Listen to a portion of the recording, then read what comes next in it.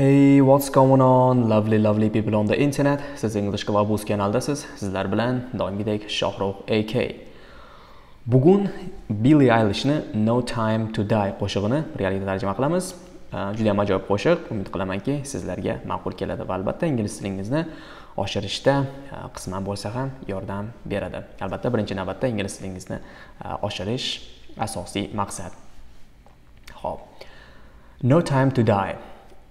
Nima degani no time to die there is no time to die uh, bilan bir xil ya'ni uh, o'lishga vaqt yo'q. No time to die o'lish uchun vaqt yo'q yoki o'lishga vaqt yo'q deyishingiz mumkin.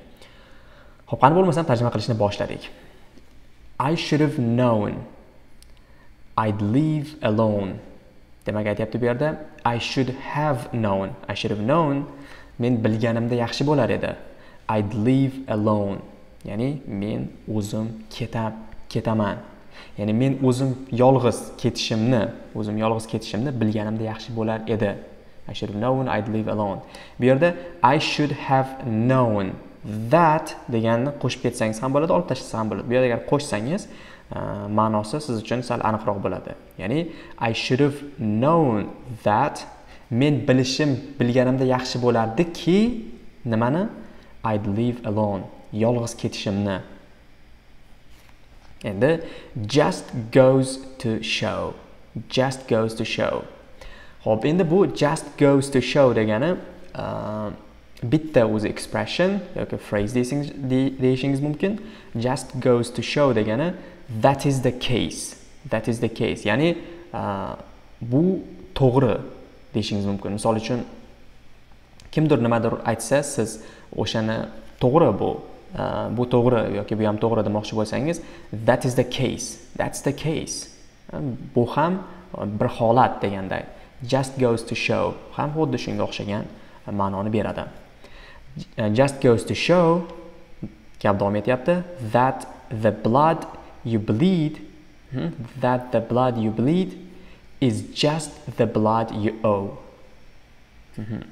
Demak aytyapti bu bu to'g'ri yoki bu o'sha that is the case deyapti just goes to show that nimani gap davom etyapti that gapni bog'lab the blood uh, qon deyapti you bleed sendan oqqan ya'ni sen uh, yo'qotgan deyishingiz mumkin yoki sendan chiqqan sendan oqqan qon the blood you bleed is just the blood you owe mm -hmm. is deyapti just faqatgina is just yoki shunchaki the blood you owe. Qon deyapti e, qaysi qonni aytyapti? You owe. Sen qarz bo'lgan. Ya'ni sen o'zi o'sha qarz bo'lgan avvaldan qarz bo'lgan qon deyapti. Ya'ni sen yo'qotgan qon sen kechgan azob deyishingiz mumkin. Xuddi mana shu ma'noda. Just goes to show that the blood you bleed is just the blood you owe. Davom etamiz. We were a pair. Mm -hmm. we were a pair. Biz deyapti. Biz edik. Were a pair. Pair bu yerda uh, juftlik degani. Misol uchun uh, a pair of shoes deymiz. Oyoq kiyim. Ikkita oyoq kiyim ikkita bo'lgani uchun a pair of shoes. Endi we were a pair desak demak biz o'sha juftlik edik deyishingiz mumkin. But i saw you there. But i saw you there lekin deyapti men ko'rdim seni o'sha yerda. Lekin men seni u yerda ko'rdim.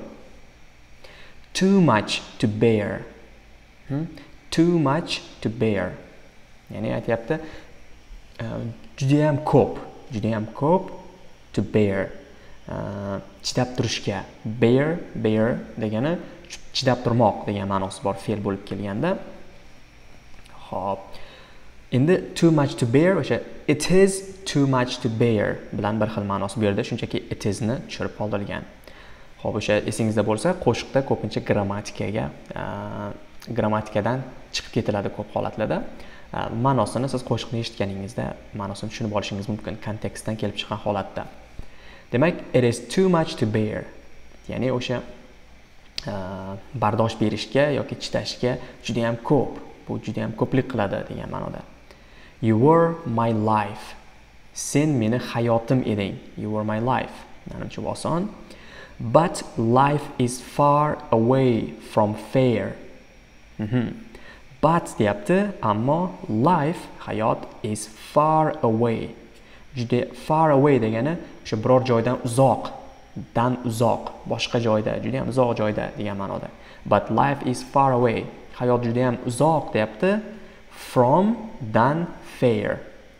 Fair uh, o'sha haqqoniylik deyishingiz mumkin. Fair haqqoniylik. Demak hayot o'sha haqqoniylikdan juda yam uzoqda demoqchi. Was i stupid? Mm -hmm. was i stupid to love you? Savol beryapti. Was i stupid to love you? Men deyapti men ahmoq edimmi? Was i stupid? Ahmoq edimmi? To love you seni sevishga. Love you uh, was i stupid to love you seni sevishga uh, ahmoqmidim? Ya'ni o'sha seni sevganimga ahmoqmidim deyishingiz mumkin aniqroq qiladigan bo'lsak. Was i reckless to help? Was i reckless to help?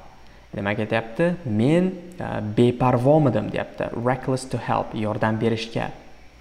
Ya'ni e, men e, was i reckless? Reckless beparvo help yordam bermoq. Men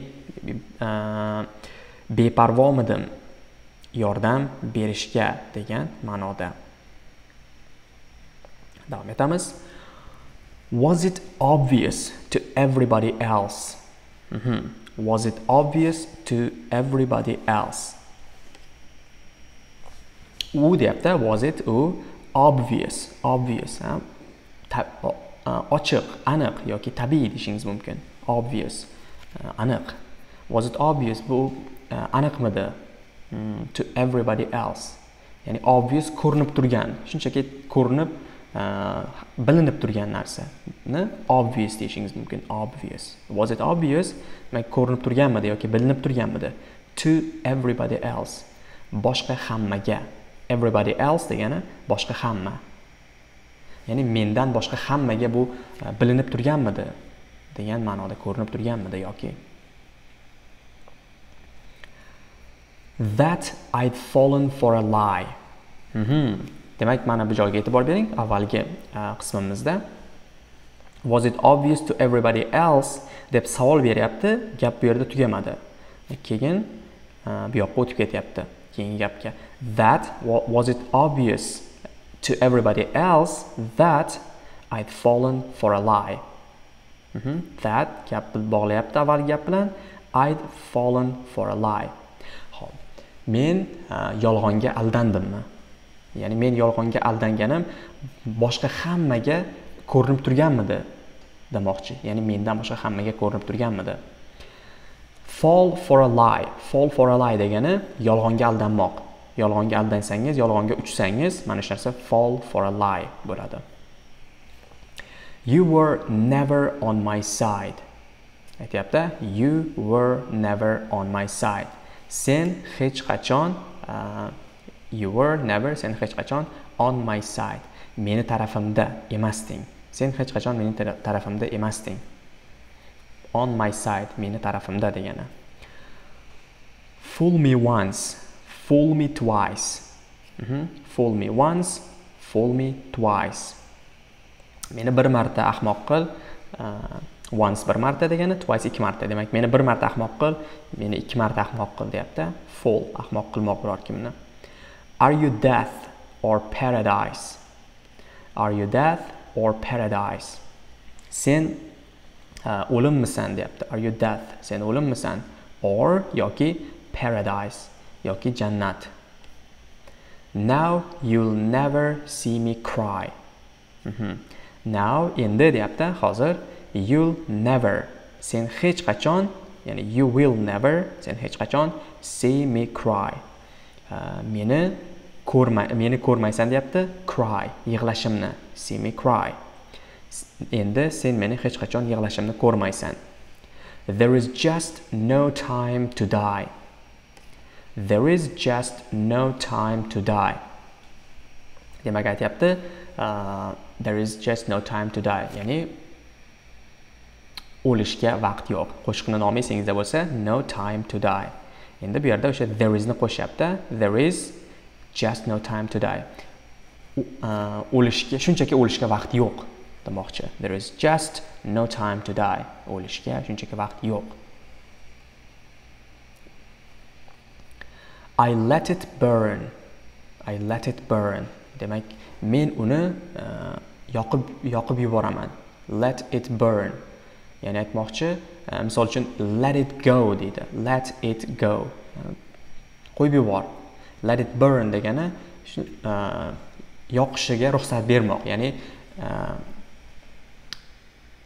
yoqib yubormoq let it burn. Shuni yoqib yubormoq deb tarjima qilsangiz bo'ladi. Let ruxsat bermoq e, it uni unga let it unga ruxsat beraman deyapti burn yonishga. Ya'ni manga qizig'i yo'q yoqib yuboraman deganday. You're no longer my concern. You're you are deyapti sen no longer endi boshqa deyishingiz mumkin. Boshqa my concern. Meni uh, concern tashvish xavotir. Meni meni tashvishim emassan. Sen boshqa meni tashvishim emassan. Faces from my uh, faces from my past return. Faces from my past return. Aytyapti. Faces yuzlar from my past meni o'tmishimdan return qaytadi qaytyapti deyapti. Faces from my past return. Meni ya'ni yuzlar meni o'tmishimdan qaytyapti. Another lesson yet to learn. Another lesson. Yana boshqa yana boshqa bir dars yet to learn. Hali o'rganishga deyapti. Ya'ni yana o'rganish uchun hali bitta dars bor deyapti. Faces from my past return. Ya'ni o'sha sani yuzlaring qaytyapti degan ma'noda. Qanaqaliging o'tmishimdan qaytib kelyapti menga ko'rinyapti degan ma'noda. That I'd fallen for a lie. Mm -hmm. that I'd fallen for a lie. Ya'ni o'sha o'tmish o'tmishdan seni yuzlaring ya'ni seni qanaqaliging menga qayta qayta kelyapti o'tmishda o'sha birga bo'lgan vaqtimizdagi demoqchi. That I'd fallen yani gap bog'layapti. That ya'ni I'd fallen for, for a lie. Mana bu joyga e'tibor bersangiz gapda another lesson yet to learn. Uh, yana o'rganish o'rganishga yana yana bir dars deyapti. O'rganishga yana bir dars deyap davom ettiryapti bu yoqda. That ya'ni qaysiki o'sha darsni darsni endi aytmoqchi nimaligini that I'd fallen for a lie. Men yolg'onga uchdim yolg'onga aldandim. You were never on my side. Hmm? buni tarjima qildik. Sen meni sen hech qachon meni tomonimda bo'lmagansan ho'p fool me once, fool me twice. Meni bir marta alda, meni ikki marta alda. Are you death or paradise? Demak, sen o'limmisan yoki jannat? Now you'll never see me cry. Endi meni hech qachon yig'lashimni ko'rmaysan. There is just no time to die. O'lishga shunchaki vaqt yo'q. No time to die. Ya'ni qaytaryapti no time to die. Fool me once, fool me twice. Oh, hop, bu yerda yana qaytyapti. Menimcha o'tib ketsam bo'ladi. Bu yerni tarjima qildik. Davomiga. Ups. Yetib kelibmiz oxiriga. Hop, mana shu bilan bugungi darsligimiz nihoyasiga yetdi umid qilamanki sizlarga foydali bo'ldi albatta o'z fikringizni kommentariyada yozib qoldirishni unutmang keyingi darslarda ko'rishguncha salomat bo'ling